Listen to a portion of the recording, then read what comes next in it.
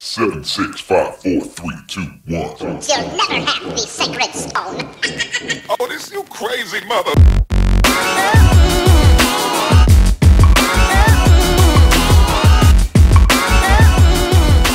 All right. We are back for another season of Amateur Hour. I'm Cody Courts, the president, CEO, commandant of the Southeast Texas Flag Football League, and here with me is Troy Maddox, the vice president. Hey, hey, what's up? No, nothing, Troy. So it's been several months now since we've had football. I'm sure everyone misses it. I know I miss it. Um, what have you been doing? Getting ready for this season. Really? Getting ready, getting getting back in shape. Well, I've been sort of Ra- round as a shape. So I've been drinking, sleeping, and thinking. So, uh, you know, with that, we uh, want to welcome all the teams that are playing in the Football is Coming 3 tournament. It's our third straight year to do it, and it's awesome because it's really hot. Heat stroke is very, very uh, uh, much the reality. So, cramps, heat stroke, and at least some amount of football. So, um, as y'all have seen on the website and on the uh, on Facebook and everything, we're trying to do kind of a Game of Thrones thing this year. Troy and I are Game of Thrones nerds, and if you guys don't watch Game of Thrones or you don't like it, well, you can go right to hell, because I do, and that's what I'm going to talk about. So we've done this neat thing that uh, we like, where we have all the teams set up. We have an early division and a later division, or as uh, you might call it, a hot division and a really hot division. So um, what we'll do is we'll run through the early division first. Troy will give us the team name. I'll tell you what their sigil is. It's a Game of Thrones reference, by the way. And I'll uh, then tell you what their uh, their words are.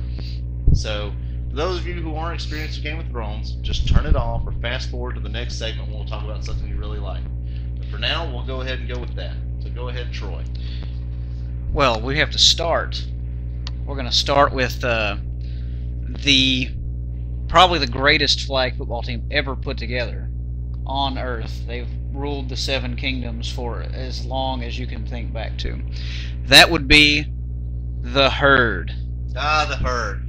The herd sigil is the stoic bison, and their words are win, lose, or tie, herd till I die.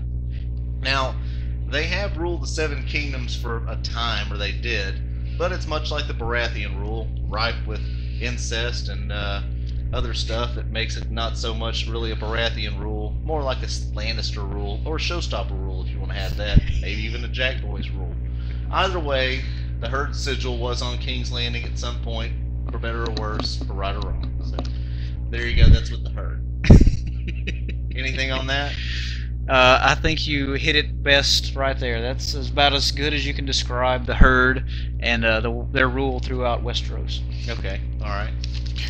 Moving on to the next team, the Wolf Pack. Since this team has just given me their name, their sigil will simply be a wolf, because that's the best I can think of currently, and their words will be flapjacks, because that's what they said the most on the group text message that I'm on with them. So you guys can thank Johnny Acevedo and other people whose phone numbers are in my phone, but I don't know their names for uh, the uh, this, the uh, the words flapjacks. So we'll consider them basically the, the Greyjoys overall on the They- Iron They can be the Greyjoys. They control a bridge. They siege towers with no real plan, but somehow they end up in power a lot. Uh, these guys are a mashup of the Punishers, the Diamondbacks, and people from places unknown. So I don't know what to expect from them. Uh, They seem to have, got, have a guy that can play quarterback, but uh, I guess we shall see. They're, they're kind of an unknown. They might even be Braavosi. I don't know. well, good luck. Good luck. Uh, the next team on the list here for the uh, early group is Team Squad Elite. Squad Elite. The Squad Elite sigil is the mongoose, and their words are, We are family. Because this was purported to me to be Marvin Williams' team composed of his family. I had no idea that Marvin was related to Tootie and uh, other people on that team, but I guess he is. So um, they're kind of a mixture of the 409 boys, I think some of the Beaumont Stars, and people that have played on and off with uh, the Hurricanes for years and years and years. So they should have a pretty good group. Tootie's a good quarterback.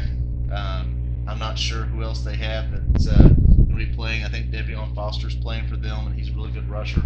So we'll see. I, I, I hope they have some chemistry. So since they're all family, we're going to consider them the Freys.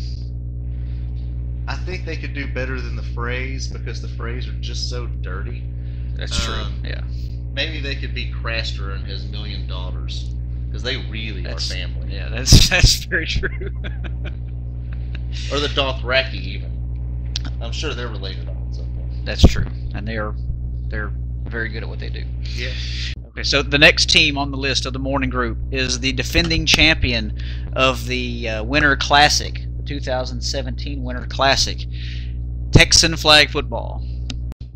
Sigil for Texan flag football is the lion because they're the king of the jungle. And their words are spread the field. Those guys do spread the field pretty well. It's pretty neat to watch them play actually. They uh, they beat people in so many ways. We only we only been able to play with them once in the uh, winter tournament, but they did great and they were they are a uh, they're a class act, you know. So they've beaten the team that won the last league. I think they've beaten pretty much every team that's going to be in this tournament that they've played. So right now their sigil's the lion, and if I had to compare them to a house, I would compare them to the Lannisters from a few seasons ago when Tywin was really important. Now after Tywin died, I can't vouch for the Lannisters. They're, they're, they've they've kind of gone off the rails. Cersei can't hold it together. That's right. They were they, they were more in control then, and I uh, I agree with that. And the next team on the list is the defending champion of the spring SETX FFL League, and that is the Jack Boys. The Jack Boys sigil is the cheetah because those guys are blazing fast, and their words, of course, which have been spoken before, are Jack Boys, Jack Boys, Jack Boys. For Taylor Labrie. Um, those guys are super fast and super talented. Um, if they show up with their whole group and Tone shows up for quarterback, um, or even Torian Lott shows up to play quarterback, they're going to be great. Um, so I'm, I'm looking forward to seeing them play against some of these uh, teams that have come from Houston. And I, you know, I can't say anything else about them. They're super fast and super athletic, and they have a lot of chemistry. They pitch the ball all up and down the field. It's really fun to watch. Yeah, they're always a tough one. So that anytime you play with them, it's it's fun to watch, but it's you hate to play against them because you never know when they're going to break one deep on you. So uh, they're a good team. And uh, what house would you consider them? They are most comparable to, you know, that's a tough one. I'm gonna say they're they're most com- comparable to House Arryn. They're the Lords of the Vale. When everything's going well, you just Oh, need good someone one. to come in and and kill somebody or win or whatever. The Lords of the Vale come in, win, and they just leave. That's just all they do. And is, is Seth Corcoran Littlefinger? Seth Corcoran is Lord Baelish. Yes. yes, he organizes everything. oh, that's and good. then he's mysteriously absent whenever um, whenever things are going wrong. Yeah. so. Uh, the next team on the list, uh, a very good team, very uh, fun to play with as well. The 409 Boys. The 409 boys sigil is the Hurricanes because that was how they were birthed. Many, many years ago, in the eye of the storm far, far away, the Hurricanes were born, which is kind of strange because I guess a hurricane kind of has to be there before the eye is there. But either way, their sigil is the Hurricanes because that was their team a long time ago, and their words are forces combined. Because they're good on every side of the ball and in every position, and everybody has their role, and they play it great. Um, you know, I saw Byron score a bunch of touchdowns uh, during the last league, and people were laughing because Byron was scoring touchdowns. And I thought, yeah, he would be the most athletic person on our team. Like, yeah, but he can't catch. And I thought, Neither he we. catch better than anyone else on our team. So Clinton's got a good group of guys. They have four or five people that can play quarterback. Um, a bunch of people that can go up and get the ball. Miller is always a force on defense, and I think the Bronsons are playing with them, so that'll be fun too. I would consider them the Targaryens because at once they were the dominant force in all of the land, and uh, they were overtaken, but now they're trying to take it back. So that's Now what I would sit- consider them. They're sailing across the narrow sea, just waiting, waiting on their opportunity, And they've got dragons. and they have dragons, and there were dragons. and there were dragons. The next team uh, in the group is the uh, a new team to the tournament, the Bayou City Cowboys. Bayou City Cowboys sigil is the fucking Bronco because that's gonna look cool when I put the little graphic up on the uh, thing here. And uh, their words are have football will travel because that's the other thing I know of them is that well they're from Houston they probably have a football and they're willing to travel here. Uh, from what I've heard- and we were drinking when we came up with these. yeah, so it was a lot funnier then. Um, so from what I've heard, they're really talented. Um, they win a lot, and that's about all I know about them. I know Quintus Braddock is a pretty cool dude because he actually calls me and, and speaks to me, which is becoming a dwindling few people. so I appreciate Quintus for listening. I, I really appreciate you calling me and asking me about stuff, and uh, you know, um, can't wait to meet you guys. So there you go. I'm like I'm excited about that. I, I'm happy that we got a new team coming in. It's gonna be fun, um, and good luck to them. Uh, the last team in the tournament, last team on the list, and the last team in my heart is the Showstoppers. The showstop, the showstopper sigil is the shooting star. You know, because of their shirts and all. And their words are all to arms, because everyone on the team can play quarterback at some level or another. Walt can play quarterback. Um, Theron can play quarterback. That fella whose name was like Geth or something can play quarterback. Oh yeah, and Jacob Diltz is pretty good at it too, I guess. Uh, so, you know, they're awesome. They're a great team. They can win any tournament or any league we do. Um, now, the house I compare them to, though, is going to be uh, high. Uh, the, the Tyrells. The Tyrells. Yes, they're the. Tyrells. They're very perfumed and they're just, you know, I, I feel like Walt might be the Queen of Thorns. Walt's kind of like Lady Olenna. I won't tell you which one reminds me of Lars because I think I might hurt people's feelings. but uh, you know, Walt's uh, Lady Olenna, and um, Theron could be Margaery because he's a good-looking guy. So there you go. I, I was almost considering them more like uh, the Starks, because they were. They are not good people. They- no. But no, I'm just saying they're uh, they're the way they were also kind of lords of the North. They were kings of the North, and then uh, they've all been broken up, and then they all come back together somehow, like the Starks are now. So that's what I would consider. I'm kind of going around it with some lo- logic on that one. Maybe they could be the Boltons. Oh, nobody wants to be the Boltons. Well, nobody wants to be the Boltons. They're not that. They're not that hard of people. They're not that mean. They're not mean like that. You know, Roose Bolton never seemed mean until the Red Wedding. I'm just saying. God. Because the best way to be mean is to act really nice on the surface. I feel like Walt might have us all taken out at some point. Just Uh, joking, Walt. You're all right. Even though you are in Denver or something, you can come hang out. Yeah, Johnny Willis is Ramsay Bolton. No, Johnny Johnny Willis is some ashamed grandfather Bolton that wondered how it all how it all went awry. Although it, I guess it didn't. But there you go. Um, so those are the teams. Um, we'll really we will release the schedule Tuesday.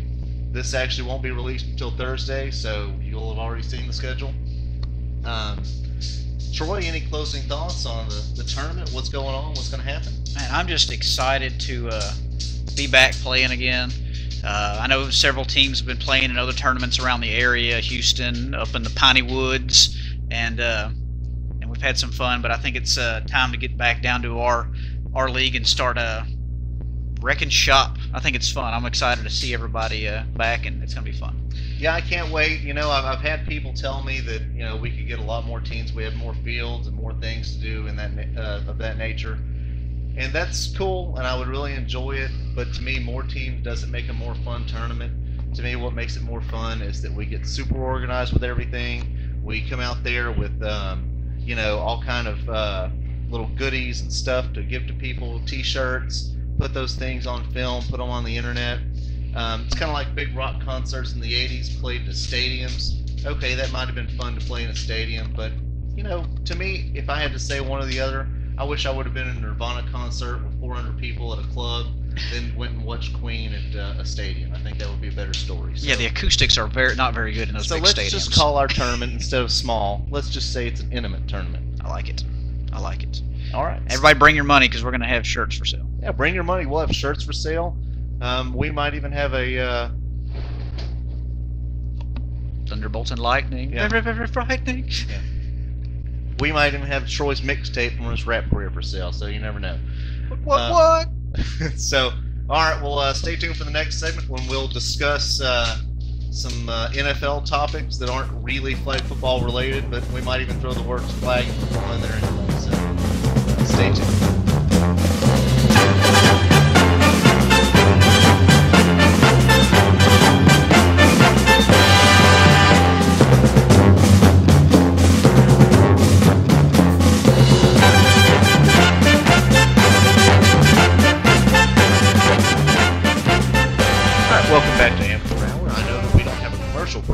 Least hope you enjoy the music that I choose to put in between these segments. So the name of this segment is going to be an ongoing thing for the next few weeks. Is the top three according to me and me. It's uh, Troy and I, uh, Troy and my favorite players or top three players or whatever from uh, each team in the NFL ever, ever. So we're going to do the NFC East today, and we're going not the NFC East, the NFC East today. For all of those of you who picked up on that. I consider most of it the yeast, though.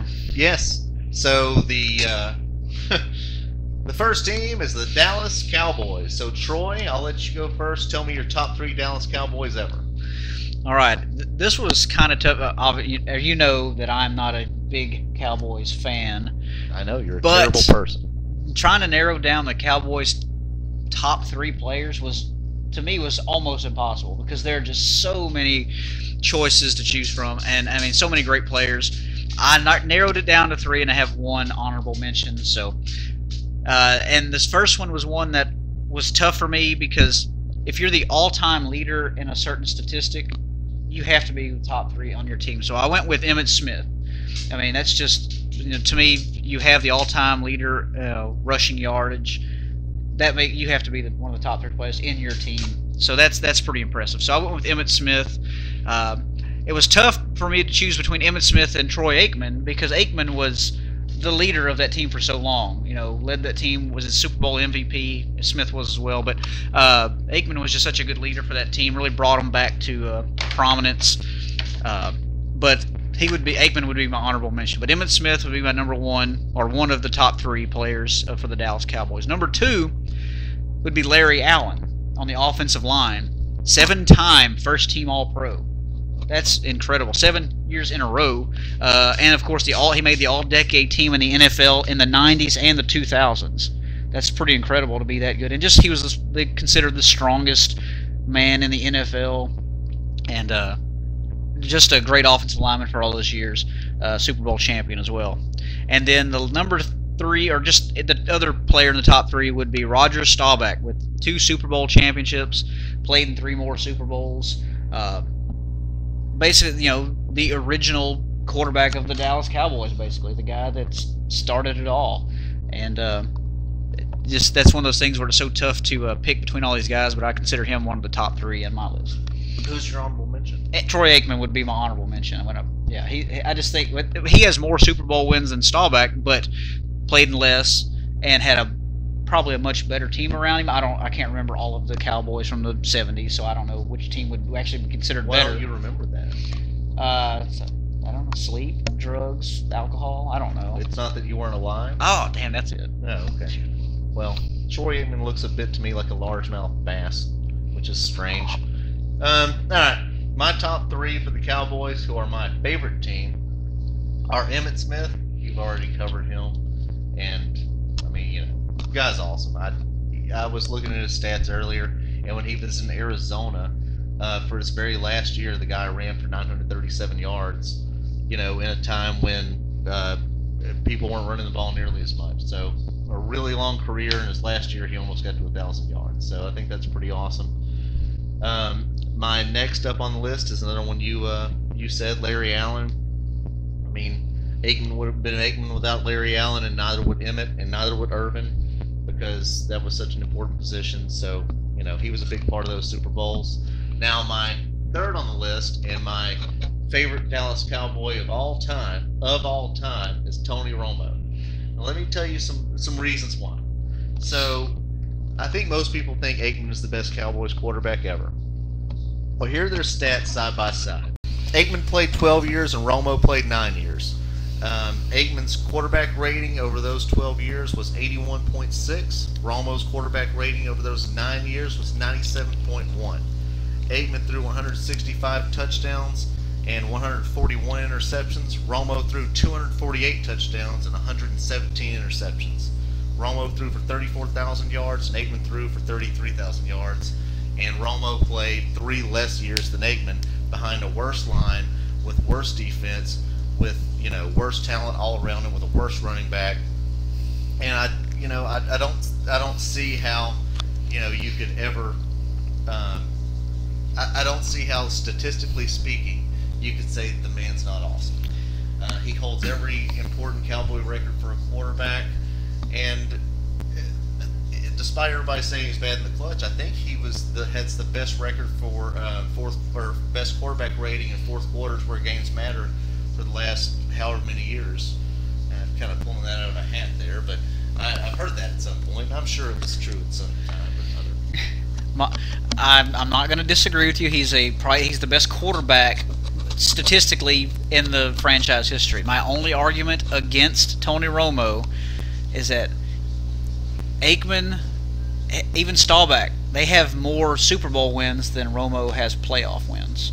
That's, that's my only argument. I know it's a different time, and then the team, of course, obviously wasn't as good as those other guys. That's just my only argument. Take it or leave it. It's not. I'm not trying to dispute that. No, he's not a great cowboy. My only thing with that is um, they didn't have a salary cap. Romo had a salary cap. They had organization and structure and things built into it. Romo was risen like a phoenix from the ashes um, and was never even planned to be their star quarterback. He was undrafted, took over after Drew Bledsoe because Bledsoe was hurt.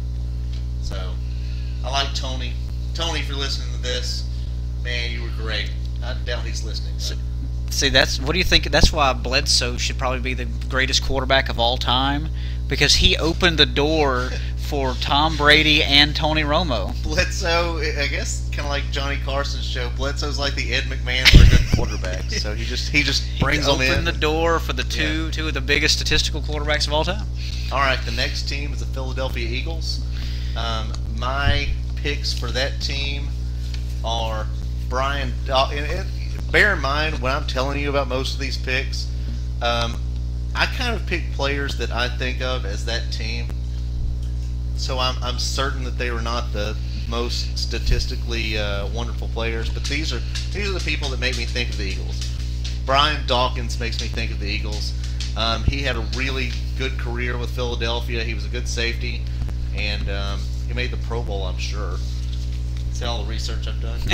um, Terrell Owens to me is uh, was unbelievable at Philadelphia. Then he was unbelievable at San Francisco. Then he was unbelievable at Dallas for that short amount of time. So um, he kind of made any quarterback look great. And Donovan McNabb. Now, a lot of people talk a lot of crap on McNabb, but he was there when they were, you know, getting close to Super Bowls, and I, I think he went to the Super Bowl. Yep. I can't remember, but you know, he was the beneficiary of Andy Reid, but someone has to be. And McNabb did a good job, and he was tough. You know, he he uh, he played a lot of years there and and uh, did a lot of good things. Uh, Go ahead, Troy. I, I, I can't. Uh, I think that's pretty good. I like Brian Dawkins. That was a good choice. Um, ferocious defensive player. Uh, my my three top three Philadelphia Eagles of all time start with uh, Randall Cunningham, who in my mind could be a guy that's uh, top three for several, a couple teams. So uh, we may have to revisit that topic a little later. But Randall Cunningham, the original dual threat quarterback, he revolutionized the position. So athletic. Uh, making plays all all over the field, could run, outrun people, could throw the ball farther than anybody. Was just a, a, a fun guy to watch. He's one of those Tecmo Bowl guys where you take him around the end and run, and just he, he created a different position. Basically, it wasn't a stand in the pocket throw position after he he started uh, playing from UNLV. Uh, yeah. uh, number two, Reggie White. Well, see, Reggie White obviously should be on there, but I didn't What- put him on. there. Yeah, I'm not saying he's I'm not saying he's one of my favorite players of all time, but you just look statistically, eight seasons in Philadelphia, 124 sacks before going to Green Bay and winning That's a couple, good. winning Super Bowl, and um, he was a six-time first-team All-Pro while he was in Philadelphia, leader of that defense with you know Jerome Brown and Seth Joyner and all those guys. Uh, he was he was the leader of that defense, and then uh, my number three is also one of yours is uh, Terrell Owens, whose middle name is El Dorado in my research, which is just Is that the road? awesome. Is that no? That's not the road. What is Dorado? El Dorado. I don't. I don't know. The Dorado. Well, not two words. It's one word. El Dorado. But anyway, that's Yeah. that's hilarious. Anyway, he only played 21 games with Philadelphia, and scored 20 touchdowns in those 21 games. And then in the Super Bowl that they played in, he missed all the playoffs with a broken leg. Came back for the Super Bowl. Was not cleared by doctors to play in the Super Bowl. Played anyway. Had 11 catches for over 100 yards on a broken leg in the Super Bowl that they lost to New England by three points or whatever. Uh, so he's one of my favorite players of all time, and uh, was just incredible for the 21 games he was in uh, Philadelphia. So there's a, a neat stat about Terrell Owens is that uh, he has the same number of Super Bowl wins that he has dollars right now. Ze- zero's a hell of a number. yeah, there you go. Well, he might have more Super Bowl wins than dollars then. Back taxes are a bitch. Uh, they sure are. All right, next up on the list, this might be my favorite one because I know the least about it, are the Washington Redskins. So, Troy, go ahead and give me your Redskins. All right, my top three, and here I also had an honorable mention on the Redskins. My Wait, top. Wait, wait, wait. Before you go, um, I know that it's controversial to say Redskins right now, so we'll go with highly pigmented people.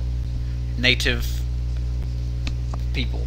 Okay, there you go. All right, go ahead. Um, for those guys, I'm going with uh, Darrell Green as my number one uh, from Houston, Texas. Uh, fastest player of all time in the NFL. Uh, 20 seasons in the NFL, and only three of those seasons he didn't play all 16 games. Uh, 54 total interceptions, four-time first-team All-Pro defensive back, and the 19 NFL 90s All-Decade team. So uh, just longevity like that, just being able to play that many games throughout your career in a position where you're, you know, you're getting thrown at all the time. You've got a lot, you get exposed a lot out there, and he made it that long, and uh, was so productive, and was still one of the fastest players throughout his 20 years. So very good player, awesome. Uh, my number two would be John Riggins. Uh, you look at his stats; doesn't really have great stats. Had about 8,000 yards rushing, but was a, a, just an amazing character back then. With you know wearing mohawks and fur suits and stuff like that. He was a he was a different guy, uh, but he was an 80s all-decade uh, team for the NFL and has one of the most iconic touchdowns in Super Bowl history against the Dolphins, breaking loose and running like 40 something yards for a touchdown to beat the Dolphins in the Super Bowl. Uh, so that's why I chose him. And then my number three was Joe Theismann. He's still the all-time passing leader in Washington Redskins history. He retired after a broken leg in '85. So What happened to his leg? Lawrence Taylor happened to his leg. Oh, okay. He destroyed him and ended his career, but he was still the all-time. He's still the all-time leading passer in the history. My honorable mention, who I think if he was still alive today would probably be the best player in Redskins history, was Sean Taylor. Uh, he ended up he got murdered one season in the middle of one season by whatever some robbers or whatever. That does hurt your stat. But he was so incredible on the field. The way he played, he was so aggressive. Just could make tackles out of the field, could chase people down, make interceptions. Was a great special teams player, uh, and he would be probably the best player of all time in that team's history. But too bad he was uh, murdered. So that's my top three. All right, those are really great. I, I can't argue with them uh, because I don't know anything about them. Um, so, uh, my, my first one is Darrell Green. You know, you already said it. The man played forever, and he played at a high level forever. So, uh, the next one on my list is for a weird reason. His name is Art Monk. And the reason I picked Art Monk is because my dad used to say that he liked Art Monk a lot. For whatever reason, that made me uh, really like Art Monk. Nostalgic. Yeah, that's well, that's why I pick most of these people. What a name. Now, the third guy on my list, um, I actually found a recording from wherever he was uh, when he was drafted. So I'll, I'll just, I'll just actually it's not when he was drafted. It was just kind of to sum up his his career. So I'll just go ahead and play that recording now. So here, here it is. Redskins draft rookie quarterback slinging Sammy Baugh from the minor league baseball system. Sammy Baugh leads the Redskins to a Super Bowl or an NFL championship, as it was known at that time, against the Chicago Bears in 1937. Baugh went on to perfect such moves as the forward pass, the hot pitch, and the move around a guy really fast, which later came to be known as the juke. Ball would retire and live on a ranch where he developed Alzheimer's disease and forgot everything and couldn't play football anymore. Then he died. So my third player on that was uh, Sammy Ball. Um, I thought he had, um, I, you know, I looked up his stats, and I, I realized he was probably playing against roofers and plumbers that were out of work, and uh, probably a probably a lady or two. I don't even know what they did back then. It was like during World War II. But in 1944, when they played like I don't know eight and a half games against teams like the Mannheim Steamroller or something, the guy threw for uh, 2,900 yards and 25 touchdowns, and uh, I, I can't think that, that you know like Dez Bryant was playing back then or something. So he's probably throwing to like you know Don Hutson, uh, Ace Parker, or Wizard White. Those are real people, by the way. F.T. Tittlesworth. F.T. Tittlesworth caught a ball and touchdown. That Or ga- in a game. That game, that game they played against the Trans Siberian Orchestra. They were, they, he was amazing. He was amazing. Little do people know that Ball went on to an acting career, acting in such movies as Spit Now, Shirley, I'll Knock Your Teeth Out. Other movies such as Yes, I Want Ham, What do you think about that, Sonny? And then the classic comedy, Sammy Ball, slinging those balls. So, that is, uh, you okay? okay. So that's my third player for uh, the Redskins. Now, the last team for the NFC East is the Giants. Um, The New York Football Giants. yes, the New York Football Giants. You know, I bet Chris Berman's microphone smells like old man spit and death. But it smells like salami. it smells like meat. Um, okay, so the uh, the next team is the Giants. Uh, my three players are um, Eli Manning, just because I mean I know that he doesn't look awesome when he's playing, and he often looks like he might uh, have a touch of the downs, but I gotta give it to him. Uh, you know, when, when the Super Bowl comes, he's uh, he's awesome. He, he he plays well. He plays well in the clutch. He gets hit really hard, gets up and plays. I, I like him. Um, my next one's Tiki Barber because he reminds me of the Giants, and I've always thought of Tiki Barber as a stand-up guy that uh, you know was um, fun to watch play football. Basically, um, I don't have any stats for these people, but I'm sure they're fine. The last guy on my list is a guy named Mark Bavaro who played tight end for the Giants in the 80s and early 90s. The reason I chose Mark Bavaro was there was a sweet ass play in Tecmo Super Bowl where you could do a flea flicker um, back to Phil Simms and he would throw it really deep to Mark Bavaro. So he was my favorite player for that couple of years when I was a child, and he's on my list for that reason. Tecmo Super Bowl.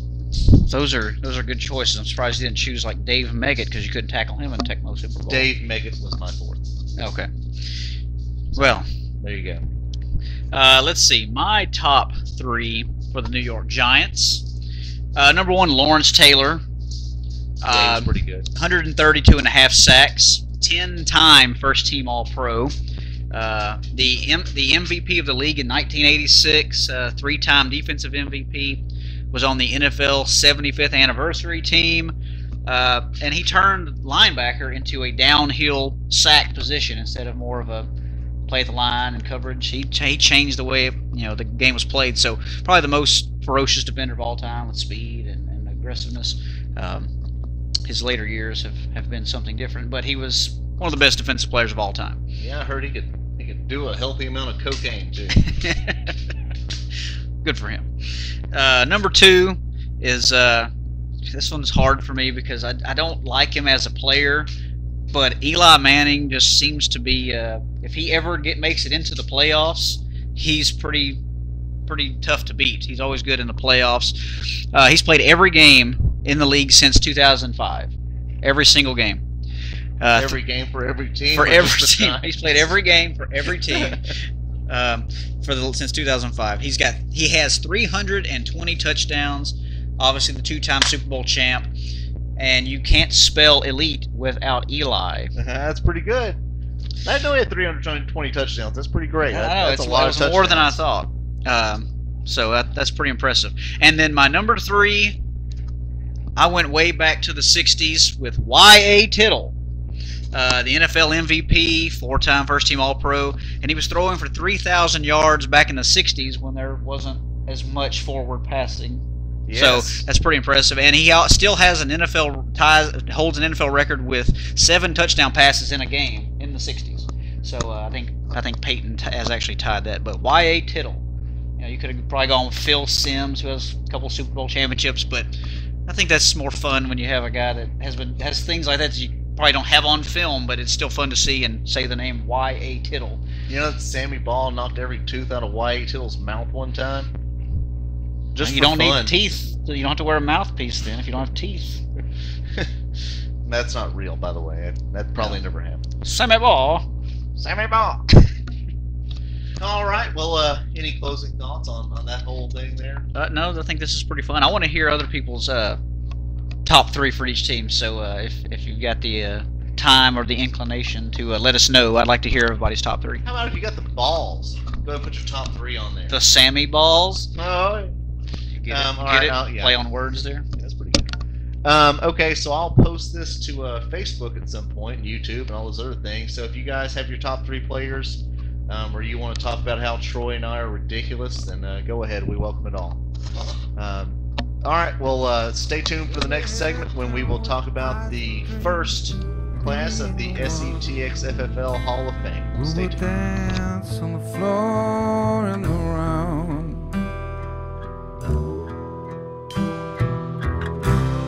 People always told me, be careful what you do.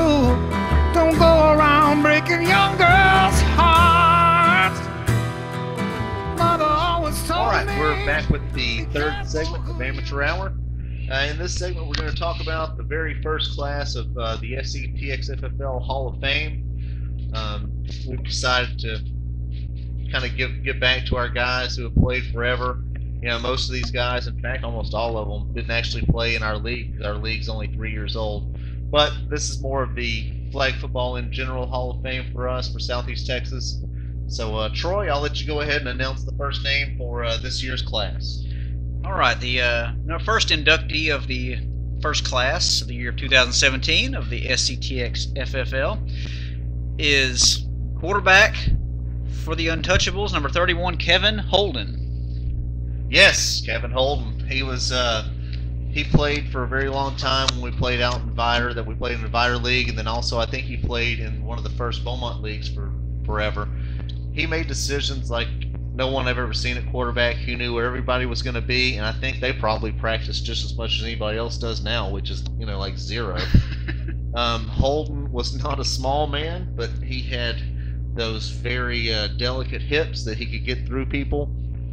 Um, my favorite thing that I've ever heard Kevin Holden say was uh, I was I was foolishly trying to play quarterback one day when I was about 18, and I asked him uh, the question, Kevin, what am I doing wrong at quarterback? What what what do I need to do to be, play play quarterback? And he said, Well, your problem is you're not a quarterback, you're a center. So just go play center.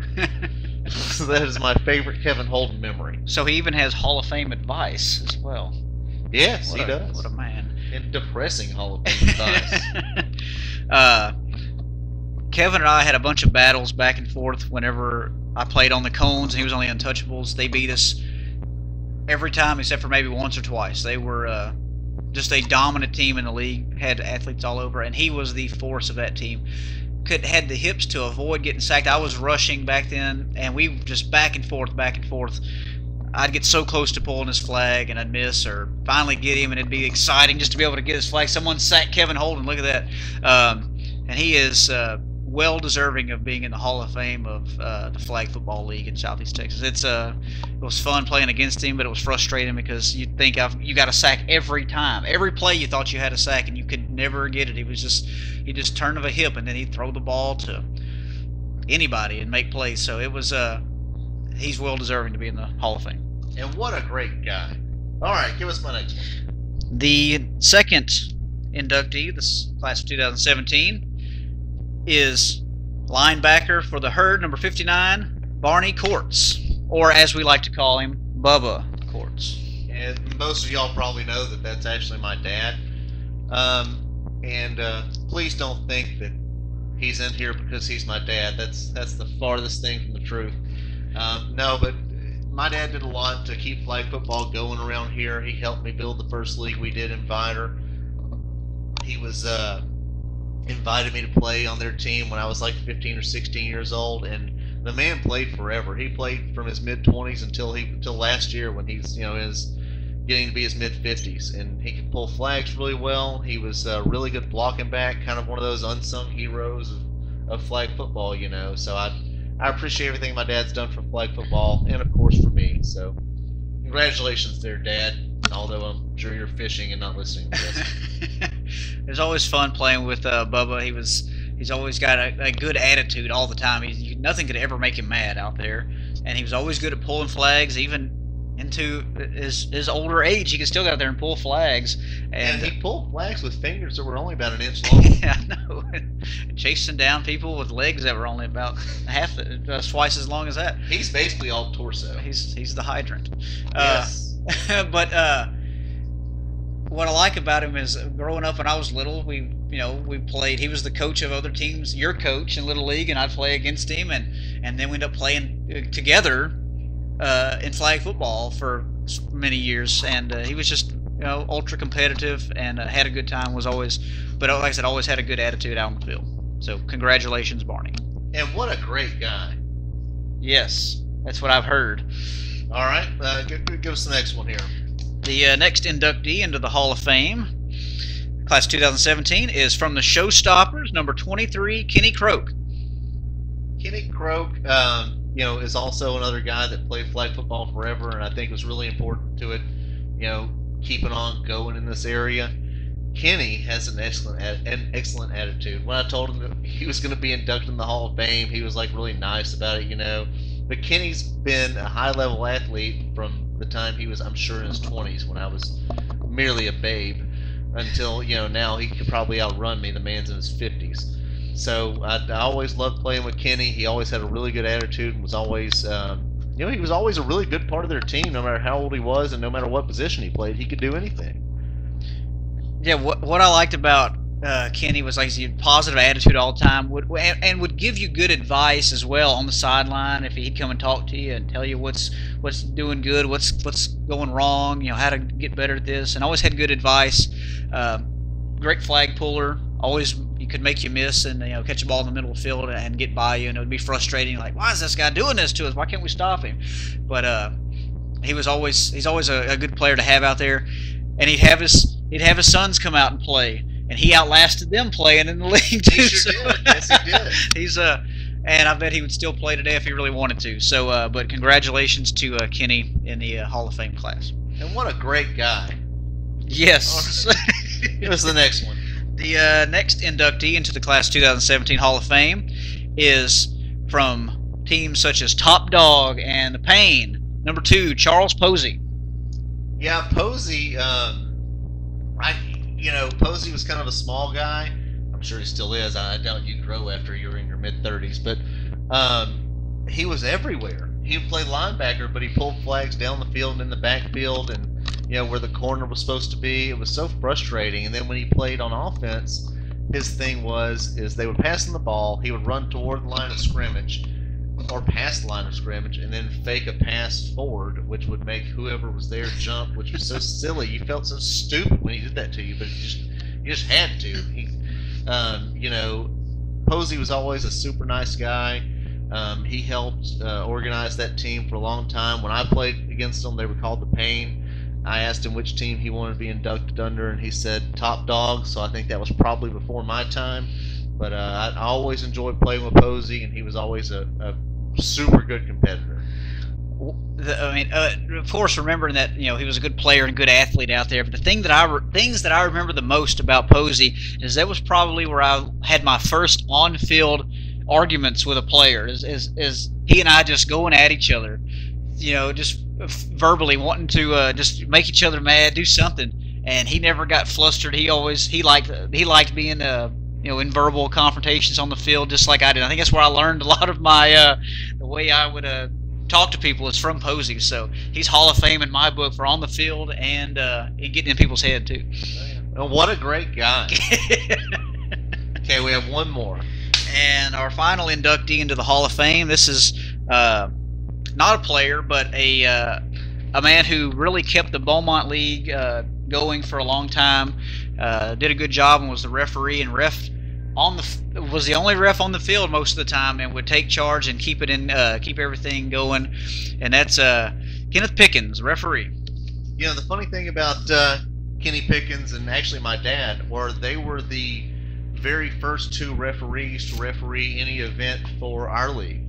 So they refereed the first games of the uh, football's coming tournament, the, the very first one. And I've always appreciated what Kenny's done. You know, Kenny had the Beaumont League down at the uh, at the, the YMCA off of uh, Sarah Street in Beaumont. He also he, he did one at the Salvation Army for a long time. And Kenny's leagues, to me, when I was young, when I was in you know my late teens and early 20s, were the most fun things ever. That's kind of what I always hoped our league to be is that much fun. Now you know we have more technology now. We can put stuff online. We can do everything else. But trying to match that level of fun to me is the challenge because it was fun. People showed up. You know, Kenny had so many contacts with the community. He also referees basketball and does a lot of stuff for kids teams and things like that. He made it really fun. And people wanted to play and they really liked it and got into it. And that's what I've always wanted our league to be. So I appreciate everything that Kenny's done for the sport. I, I, I think he's awesome. He, he did a good job. Uh, he, he really you know put a lot of time and effort into it that he didn't have to. I mean, he was the only one running it. He was the, the and he ran the entire league. Kenny was the whole league. He did the entire thing, refed everything, put all the schedule together. Sometimes the schedule wouldn't match up when you show up out there, but hey, we everybody still played. I was about to say, you know what? Even if it didn't, Kenny had somebody there for you to play. Exactly. You played a game every week. Uh, you may have played the same team three or four weeks in a row, but you were playing a game. You were out there playing, and your schedule, you you know, it made you made the playoffs, and you played for the championship every year. So it was uh, it was fun, and uh, I like playing out at the YMCA. Some controversial endings a few times, and Oh, playing yeah. out at the uh, it Salvation. flag football it was there weren't controversies. That's right, and uh, but it was it was fun. He did a great job, and he's very deserving of being a Hall of Fame inductee as well. So congratulations, Kenny. And what a great guy. Yeah. So those are our Hall of Fame uh, members for this year. Um, if you have a nominee that you'd like to uh, go in the Hall of Fame, you can send us a, uh, a message on Facebook or uh, tweet us on Twitter or send us an email. However you want to communicate is fine. Um, the only prerequisites of all that are that they can't be playing flag football anymore or they have to be over 50 years old. So that's about it. Um, if you'll stay tuned, our, our next segment, actually, it's going to be a bonus segment since this is technically the last segment of today. Our bonus segment will have to do with a lot of uh, chicanery and Game of Thrones talk. So uh, if you want to listen to that, stay tuned. If you don't want to listen to it, then go back to doing whatever the hell you're doing. Good luck.